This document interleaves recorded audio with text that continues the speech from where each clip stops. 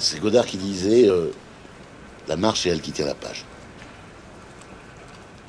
Et ça, c'est un truc, je crois, qui, oui, qui a. Quand, quand la nouvelle vague est traitée de marginal, ce qui est faux en plus, parce que les premiers films de la nouvelle vague, boum, c'est- les deuxièmes que personne ne voit. Tu vois, je veux dire, le deuxième film de Godard, mais à bout de tout, ça a super bien marché.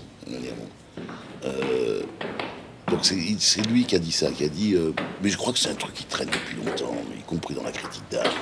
l'idée, Si tu veux que peut-être pas. euh, le, le Pépé, il a le, génie euh, de l'aphorisme, donc euh, peut-être que c'est pas formulé comme euh, c'est la marge qui tient la page, mais comme cette idée, si tu veux que les marges sont un des moteurs indispensables de tout lieu de création artistique, c'est quand même une idée vieille comme l'art, non?